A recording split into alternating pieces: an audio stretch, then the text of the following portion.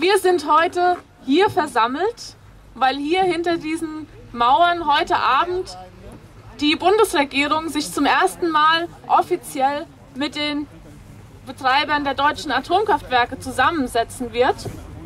Und worum es da geht, ist uns ja allen klar. Es wird darum gehen, wie können Sie die Laufzeiten der Atomkraftwerke verlängern, möglichst so verlängern, dass die Bevölkerung wenig protestiert, dass es wenig Aufschrei in der Bevölkerung gibt. Und deswegen sind wir heute hier, um zu sagen, wir lassen das nicht mit uns machen. Wir wollen den Atomausstieg. Und zwar jetzt. Wir wollen, dass die Atomkraftwerke abgeschaltet werden und wir wollen saubere Energie vor allem statt Atomstrom, Energie aus Sonne, Wind und Wasser. Schaltet diese alten Schrottmeiler endlich ab. Kann es sein, dass die SPD künftig äh, mit den äh, Demonstranten auf die Straße geht? Also erstens ist, wäre das nicht künftig, sondern was, was das Neues, Thema angeht, was, was das Thema angeht, habe ich, weil ich älter bin als er, habe ich einen Vorsprung, was das Demonstrieren angeht aber nur aus Altersgründen. Also das ist natürlich unser Thema. Na klar, wir haben einen engagierten Anti-Atom-Wahlkampf geführt. Der hat leider nicht die entsprechenden Ergebnisse gebracht, aber ich glaube eher, weil nicht weil die Mehrheit der Deutschen für Atomenergie ist, sondern weil andere Themen den Wahlkampf bestimmt oder auch nicht bestimmt haben. Aber ich glaube, dass die Mehrheit der Deutschen den Ausstieg will. Was leider etwas ohne Beachtung bleibt, ist die, den wirtschaftlichen Schaden, den Laufzeitverlängerung anrichten. Wir haben im Norden Deutschlands zum ersten Mal seit Jahren wieder neue Industriearbeitsplätze, aber alle im Bereich erneuerbarer Energien.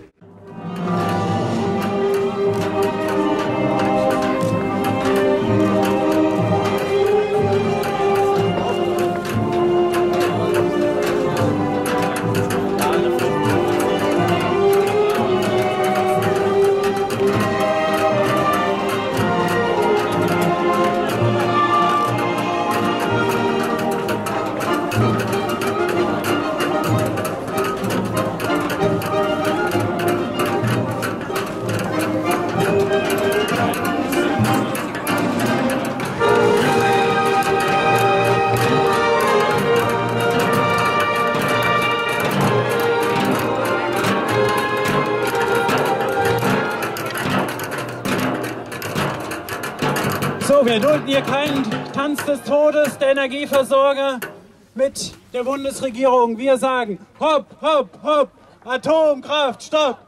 Hopp, hopp, hopp, Atomkraft, stopp! Hopp, hopp, hopp, Atomkraft, stopp!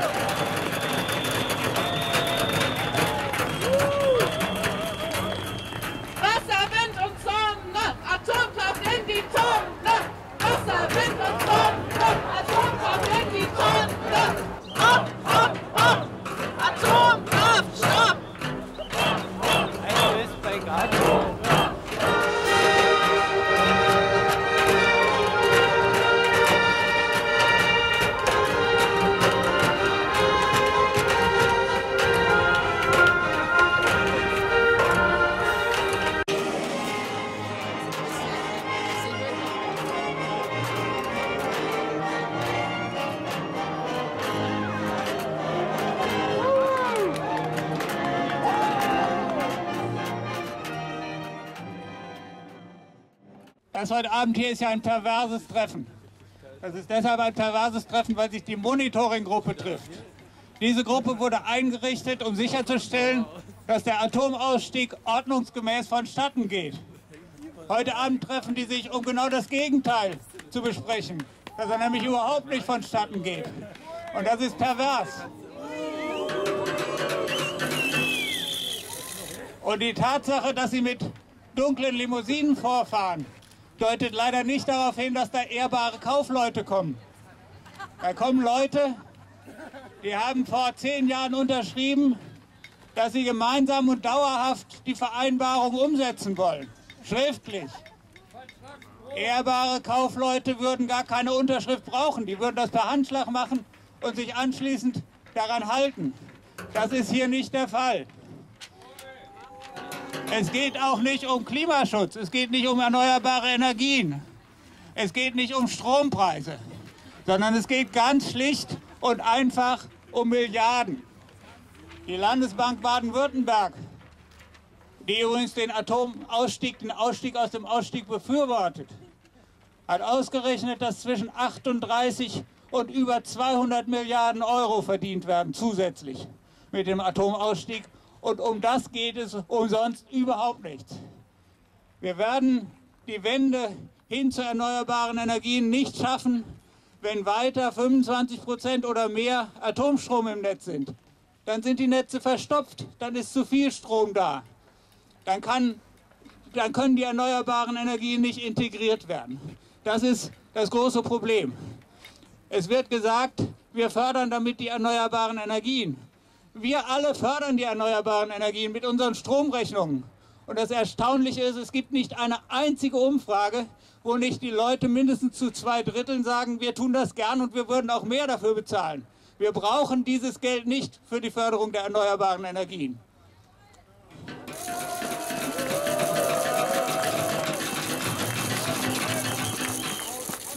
Ich möchte noch einmal auf die ehrbaren Leute zurückkommen, auf die ehrbaren Kaufleute. Das kann ich nicht auswendig, aber ich möchte den einen Satz nochmal vorlesen.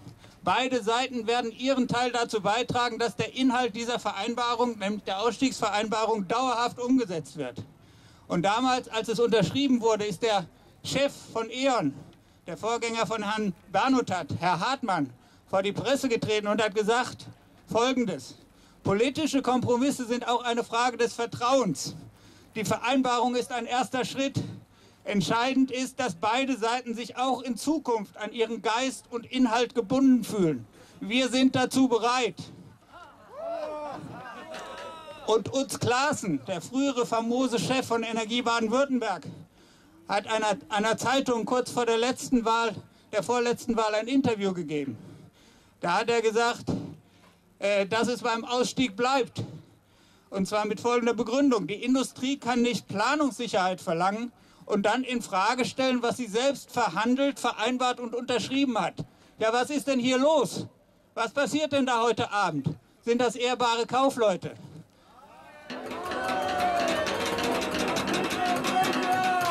Unsere Aufgabe ist es, den Preis hochzutreiben, den politischen Preis hochzutreiben. Das werden wir juristisch tun. Das werden wir auch tun mit Massendemonstrationen, die es wieder gibt. Und wir werden auch den, den ökonomischen Preis für die Konzerne hochtreiben. Es darf nicht mehr sein, dass wir mit unseren Stromrechnungen die Kassen der Konzerne füllen. Wir müssen umsteigen, alle. Und jeder, der ist, muss alle in seiner Umgebung dazu aufrufen, umzusteigen auf Ökostrom, auf Ökostromversorger, die mit den Konzernen nichts zu tun hat. Wir haben im letzten September bei der Demonstration hier in Berlin vor 50.000 Leuten gesagt, ihr habt den Konsens aufgekündigt, wir sind wieder da, es geht wieder los. Und heute fangen wir an und wenn der Sommer kommt, werden die sich wundern. Dankeschön.